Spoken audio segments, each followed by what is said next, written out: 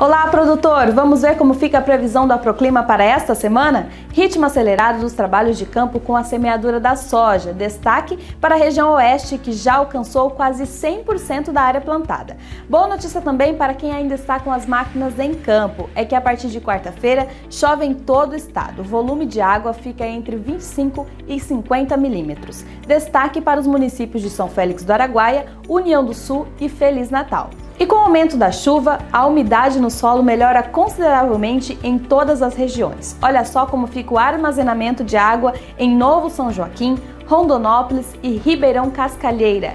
E por hoje é só, semana que vem voltaremos com mais previsões climáticas. Outras informações, acesse o site da Proclima e as nossas redes sociais oficiais. Tchau, pessoal!